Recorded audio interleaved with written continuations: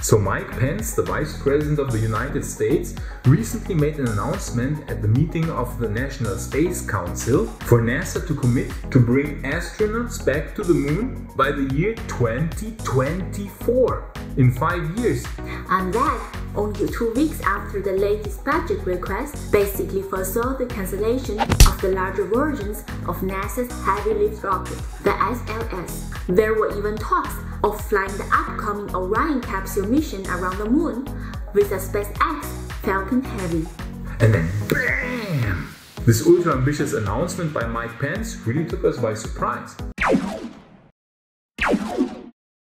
I'm Jixuan. And I'm Sebastian, and we are huge fans of manned spaceflight, and we think that uh, humanity must colonize space in order to survive. So therefore Mike Pence's announcement really excited us. American astronauts back on the moon in only five years? We were thinking, how on earth do they want to accomplish this task? Well, only recently, the future of NASA's heavy lift rocket, the SLS, was looking really bad. Only Block 1 of the SLS would probably still get built, which has a lift capacity of 95 tons to low Earth orbit and a 26 ton capacity to translunar injection orbit. That is the payload mass that can be sent to the moon.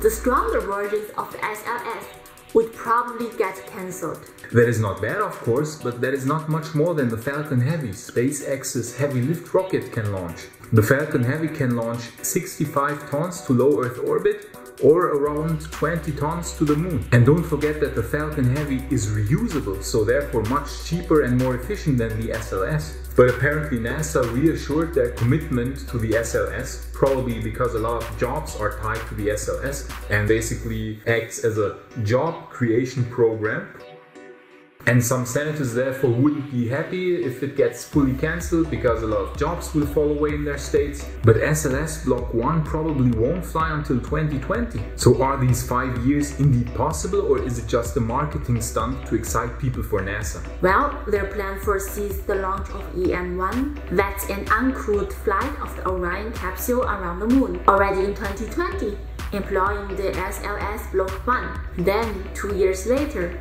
in 2022, we would see the first flight of astronauts around the moon with the Orion capsule. Also in 2022, the first element of the Lunar Gateway platform will be installed in orbit around the moon. The plan is to build a space station from which missions to the surface could be carried out easily.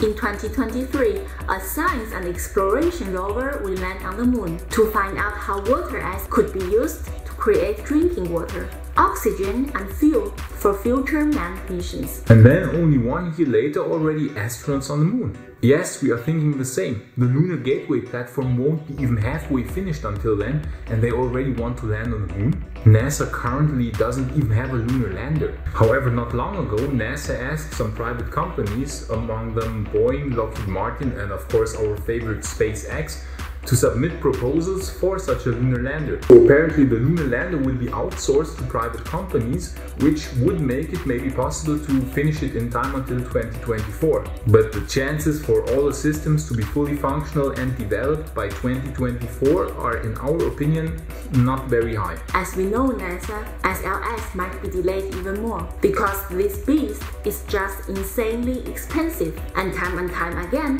has been behind schedule.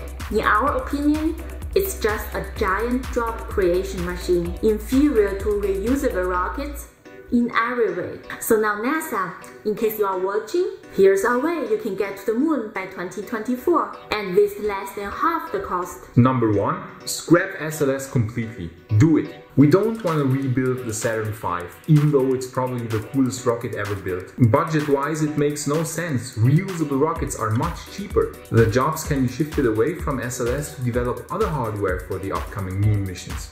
Second, call Elon. Hey Elon, Yes. Um, It's NASA.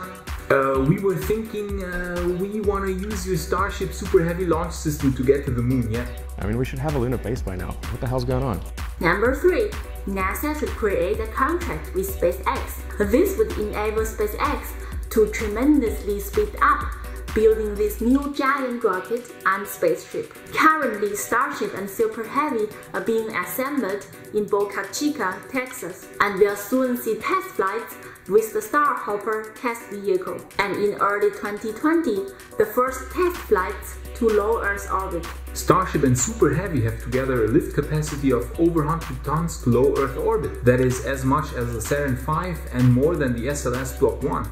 But with orbital refueling, that is a Starship docking to another Starship in orbit, while one Starship is refueling the other, the translunar injection capacity suddenly increased to over 100 tons. That is four times more than the SLS Block 1. So huge payloads could suddenly be brought to the surface of the moon. Habitat modules, uh, solar arrays and quite a few astronauts. Everything you would need from the beginning to establish a permanent moon base. But that's not enough because Starship can vertically land on the moon and take off completely on its own. Therefore, you suddenly have a giant spaceship with an interior volume of 825 cubic meters. As a first base, for extended duration stays on the moon. The interior volume is almost as large as that of the entire ISS. So this system would enable NASA to directly stay for a longer time and also start building a moon base. Starship and Super Heavy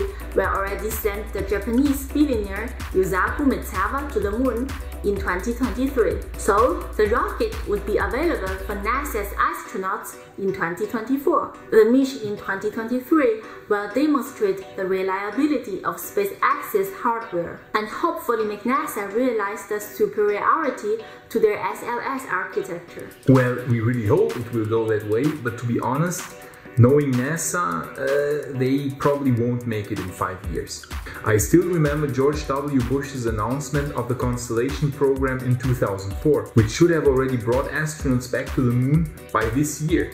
I will never forget this. And probably even without NASA, Starship will land on the moon by 2024 or 2025. Because the Starship Super Heavy system is just superior in cost, versatility, interior volume, launch capacity, in just every way. And if not NASA, some other contractor might come along and pay SpaceX to bring their astronauts to the moon. Then NASA might have no other choice than to make a contract with SpaceX to bring their astronauts to the moon with Starship. But that's of course speculation on our part. NASA might surprise us and make it to the moon on their own with the SLS, Orion, the Lunar Gateway, and the new lunar lander. And we also agree with us that NASA should just scrap SLS altogether and instead uh, help SpaceX develop the Starship and Super Heavy to get their astronauts to the moon? Or should they stick to the SLS Orion architecture? Let us know in the comment section down below. But there are also the Chinese who also have lunar ambitions and they also want to go to the moon. You can watch our video here in which we analyze if maybe China will send astronauts to the moon before the US. If you enjoy these kind of topics, like manned spaceflight or science and technology in general, consider to subscribe. So see you next time.